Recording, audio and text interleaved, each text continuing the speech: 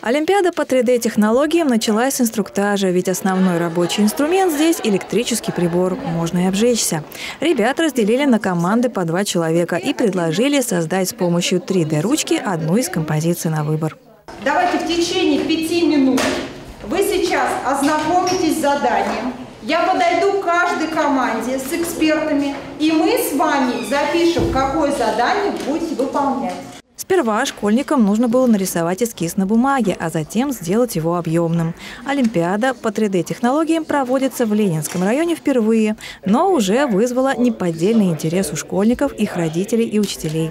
Работа с 3D-ручкой прекрасно развивает абстрактное мышление, мелкую моторику и творческие способности. Педагоги считают, готовить инженеров будущего нужно уже со школьной скамьи. Они начинают на плоскости, а потом переходят в объемное изображение. А следующий шаг – это 3D моделирование на 3D принтерах. На 3D принтерах печатается буквально все, начиная от тортов да, и заканчивая протезами медицине. В Олимпиаде приняли участие ученики начальных классов школы Ленинского района.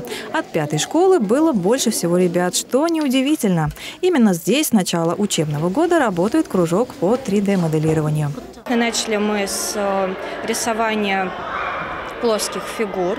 Э, рисуем мы по трафарету, и затем у нас получаются ну, такие необыкновенные поделки. Сейчас уже с, с течением времени мы переходим к объемным фигурам, и это тоже интересно, так как можно создавать не просто какие-то, ну не просто поделки, а вот именно, именно уже что-то, те предметы, которые приходи, пригодились бы в быту.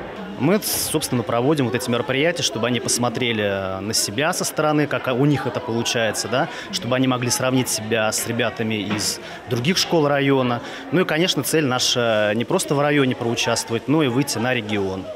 Гришу Буслаева сложно назвать новичком в 3D-моделировании. Он уже несколько лет работает с 3D-ручкой, а в этом учебном году начал ходить на кружок в родной пятой школе. На Олимпиаде вместе с партнером по команде мальчик решил сделать дом в виде барабана. 3D-ручка э, и 3D здесь можно сделать что угодно, что ты захочешь, если только научиться этому. Одна из первых поделок – это был миньон.